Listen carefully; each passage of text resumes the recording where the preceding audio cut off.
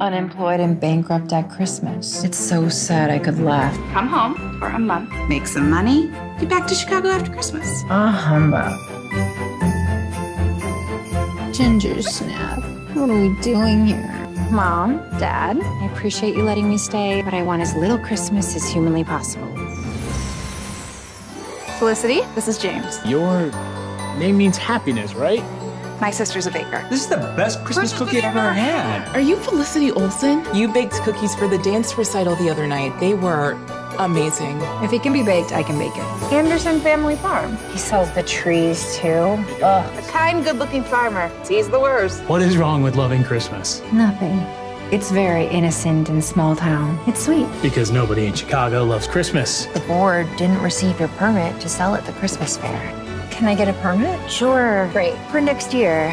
This year is full up and it's too late. You'll have to leave. I have a booth. Who's to say I can't sell dessert? Okay. Business partners. Yes. Kiss. Yes. Uh, It's tradition. Social media and a website too. You just need some help. Okay. Let's do it. Okay, everybody smile.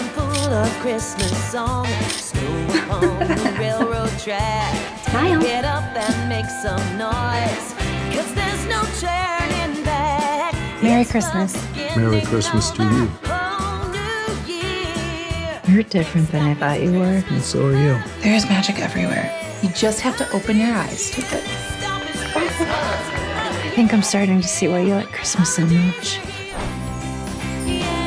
I know what I want. That's good news. I haven't seen my sister so happy in years. Merry Christmas.